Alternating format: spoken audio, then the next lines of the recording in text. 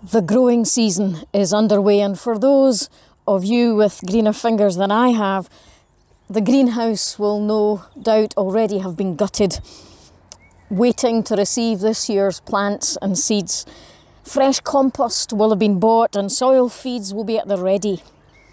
Hopefully, there will be lots planted to attract butterflies and bumblebees of all sorts, plants that will be enjoyed by more than just us and that grow as a reminder of how interrelated and interdependent the whole of life is. Those who garden and those who croft and farm are, I suspect, much more aware of that than the more urbanites amongst us. Today, let's all spare a thought for the oneness of creation and try to live caring for it in a way that ensures everyone's lives are enriched, including the life of the planet itself.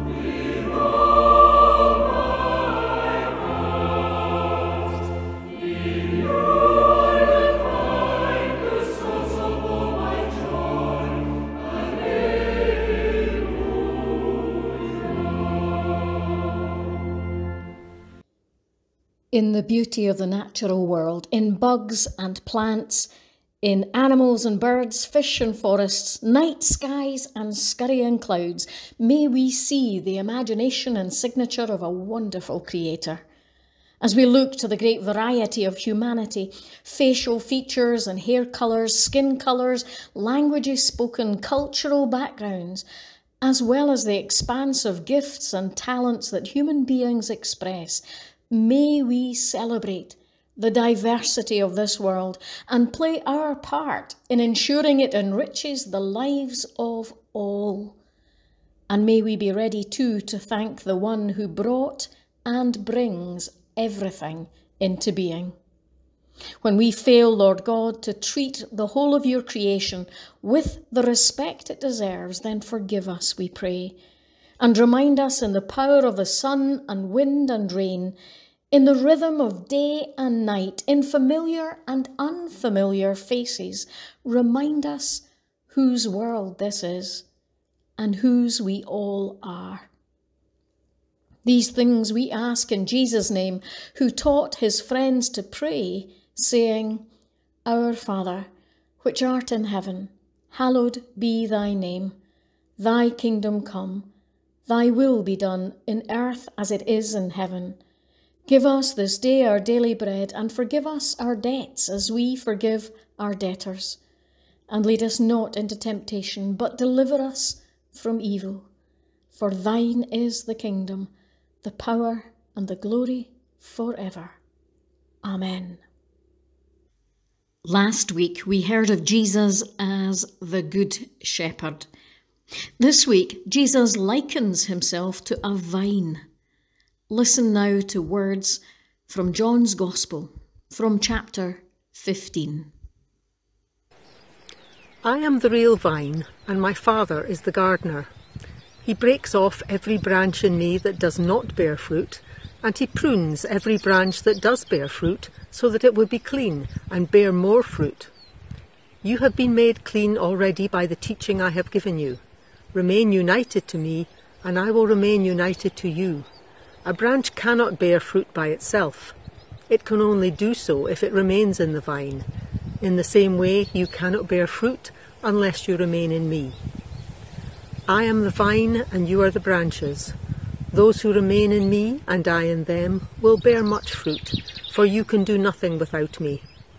Those who do not remain in me are thrown out like a branch and dry up. Such branches are gathered up and thrown into the fire where they are burned. If you remain in me, and my words remain in you, Then you will ask for anything you wish, and you shall have it. My Father's glory is shown by your bearing much fruit, and in this way you become my disciples.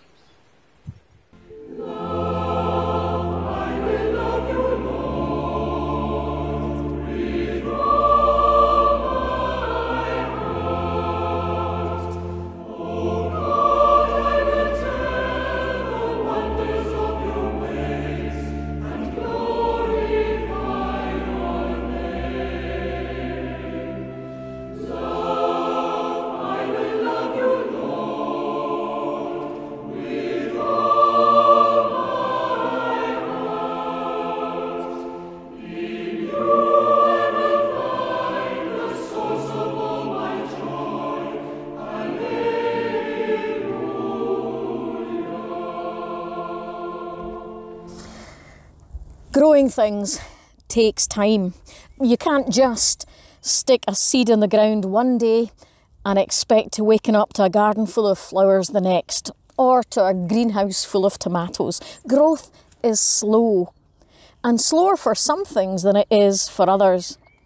I had to look it up, of course, but the quickest growing vegetables are radishes and spring onions, apparently, which you can harvest after just 21 days. And while you can grow some mushrooms in just 20 days, maybe even 10 from a kit, it takes 10 years to know if your truffles are fruit bearing or not. But then a typical English oak tree takes 40 years, even just to begin producing acorns. It doesn't reach its peak of fruitfulness until it's about 80 to 120 years old. Some things it seems just can't be hurried. And yet we live in a world, especially here in the West, we live in a world where we want things instantly. Even those things that were never meant to be instant.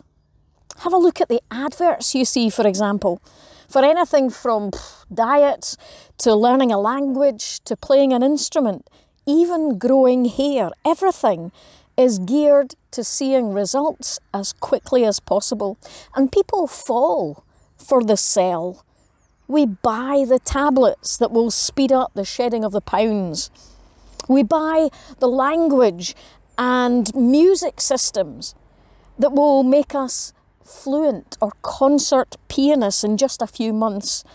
And we buy the potion that will take away the baldness in a matter of weeks. And we do that knowing in our heart of hearts that none of these products are the least bit likely to be able to do what they seem to be saying on the label. So, why do we fall for it? Why do we do it?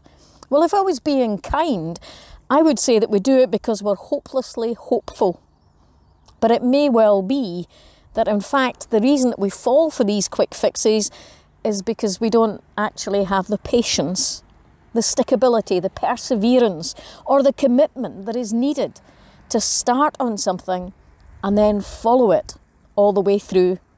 We are suckers for the easy option precisely because it seems easy. And if it doesn't work right away, then we give up and we blame it on the product and certainly not on us. Imagine though if seeds and plants did that. Imagine if the acorn gave up growing because it wasn't an oak tree after a few months. Imagine an azalea giving up because it wasn't a beautiful flower in a week. I am the vine, says Jesus. You are the branches.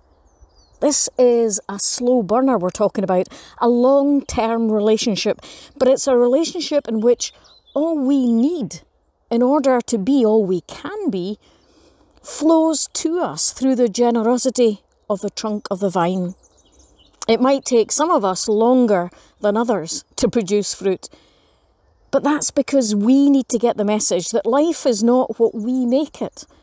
As branches, we are not the ones who choose when and how we bear fruit. As branches, it's all about remaining in Christ, depending on Him it's all about letting Him feed through to us the nutrients, everything that we need in order to blossom, and then waiting with Him to see what blooms. But that's not what happens these days, is it? These days, if things don't happen in the time scale that people think they should, or things don't work out as people think they ought, then they just move on. They move on to the next church, to the next guru, to the next faith, or to the next trendy spiritual idea. It's always the faith that fails, not us, not people. How come? Well, it's because we've begun to treat faith as we treat everything else in our consumer orientated lives. We treat the faith as something personally reviewable. And if the faith we visit doesn't come up with the goods as far as we're concerned, if it doesn't meet our expectations, then the number of likes or stars that we give it will go down. And we end up tweeting our disappointment with that faith. We post our disgruntlement at how slow it is to bring about change, and, and we quickly unfriend anyone who might question our commitment to serious engagement with that faith and with what it might actually entail. The hope we have that faith will somehow deeply enrich our lives without ever changing us too much. The idea that, that faith will transform us and the world without ever asking anything of us or ex- expecting anything of us means that remaining in Christ for us is something that is incredibly hard to do. Most of us don't want to stay connected to a vine that calls us to live as its branches, stemming out from it. And so we try to fudge things a bit and we, we say that we're spiritual but not religious.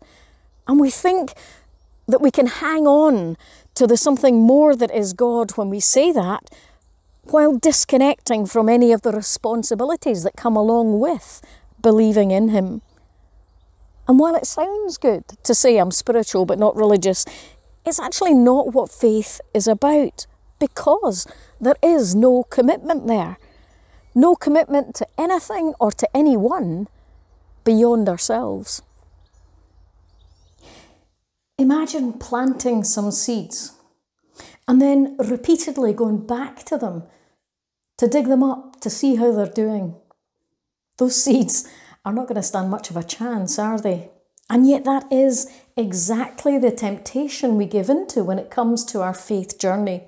We want to be better people. We want the world to be a better place. We want to see God doing more.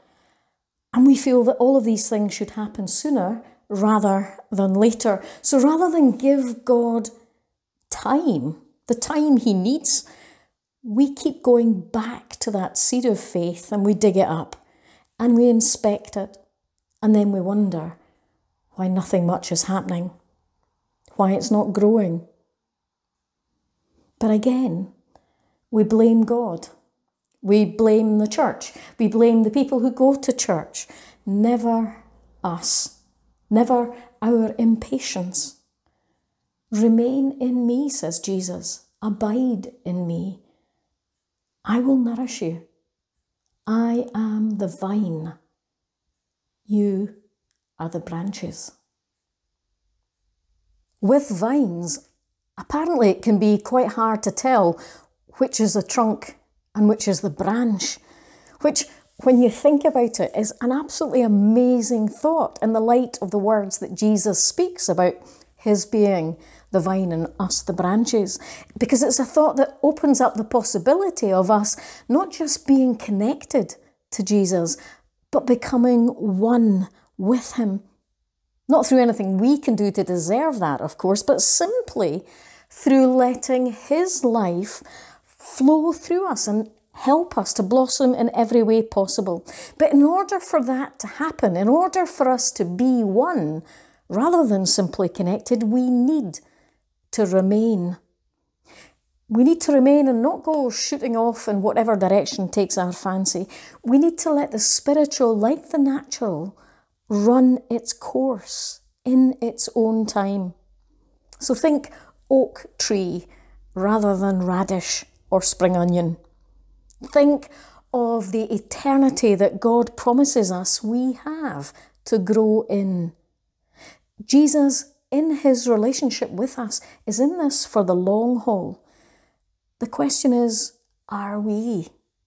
Do we have the courage to remain and to let Jesus' life flow through us? Amen.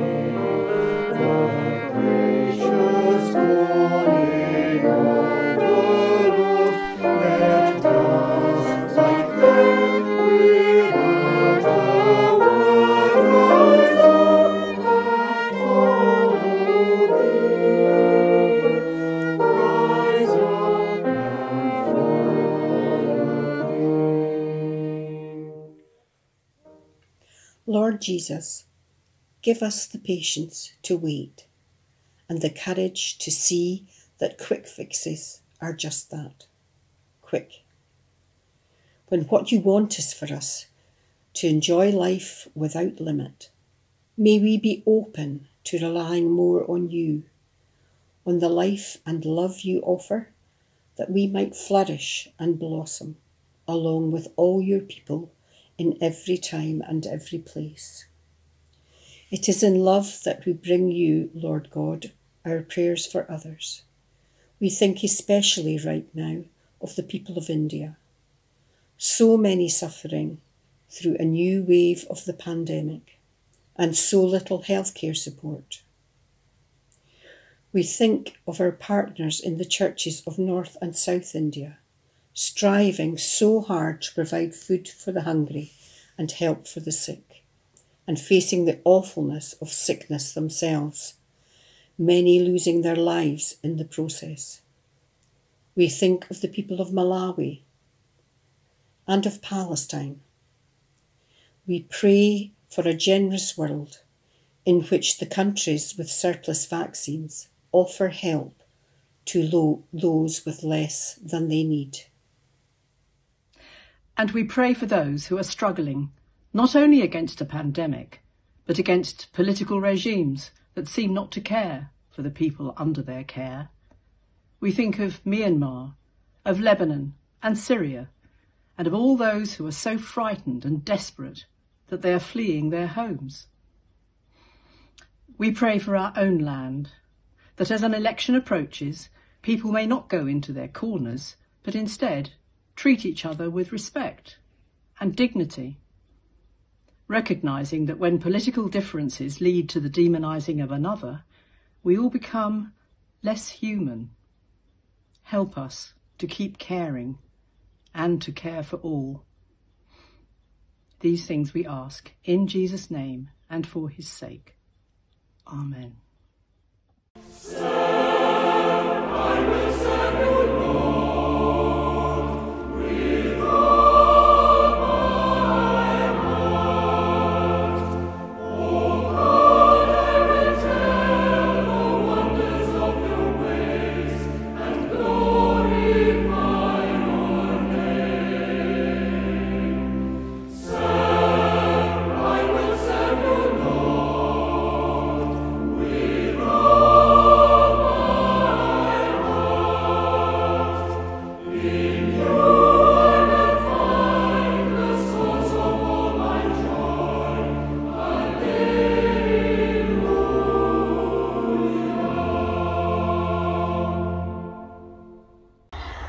Go now to remain in Christ. Go to let Him feed you all you need to bear fruit and to blossom. And the blessing of God Almighty, Father, Son, and Holy Spirit be with you and with all those whom you love, this day and always. Amen.